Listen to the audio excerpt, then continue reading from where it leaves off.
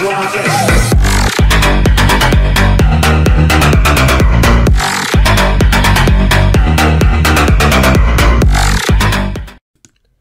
it going guys? Ultra here and I'm going to be showing you how to add your live sub count to your stream or OBS. I use OBS, I may do this tutorial later with like XSplit or something, but for now I'm going to use OBS because I love OBS and OBS is great. You're mostly going to want to use this for uh, streams and not uh, actual videos, so you're going to make want to make sure this is this eyeball is hidden after you do that for if you're going to record videos.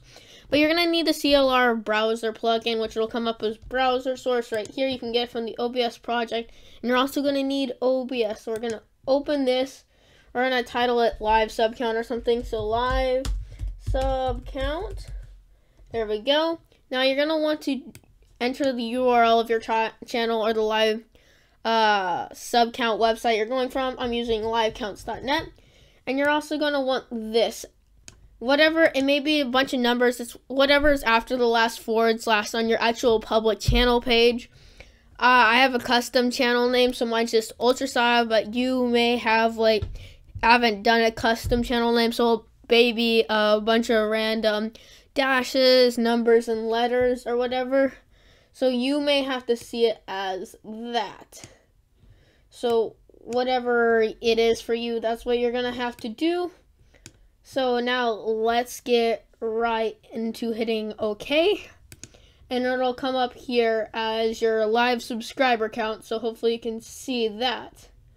So after it's come up as our live subscriber count, we're going to want to go into filters and add a crop so you don't see everything in the background. If you had the same settings as me when we actually added it, the left should be 300 the top should be 200.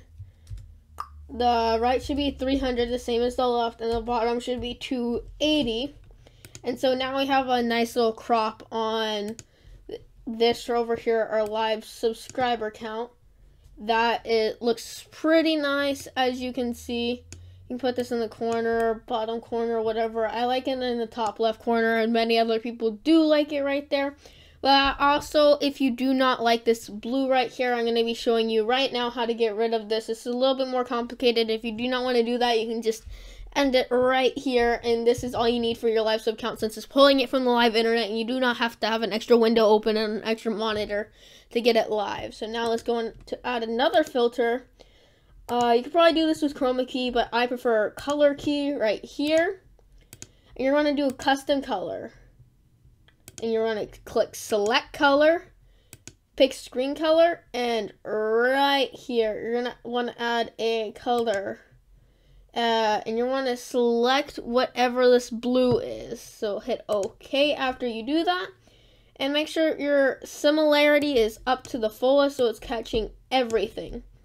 Now that your similarity is up to the fullest one right there, you're gonna want to hit close and now you can actually see it right here. Now you have gotten rid of all this blue background and it looks pretty nice.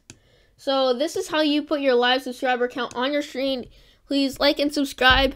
Peace.